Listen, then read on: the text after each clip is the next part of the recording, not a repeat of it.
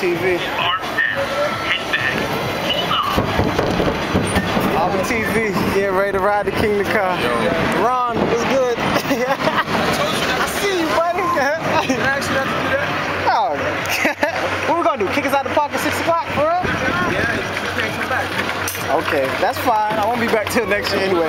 Anyway, Obby TV. Finally, hopefully this footage holds up because this ride is so damn fast. But we gonna get it. We gonna see what it's gonna do. It's about to blast us off. How you feeling right now, Brandon? You got a seat at the front? I'm still feeling mildly cool, calm, and collected. Okay. We gonna see. Mildly. We'll see after the ride is over. But uh, this goes zero to 128 in about three seconds.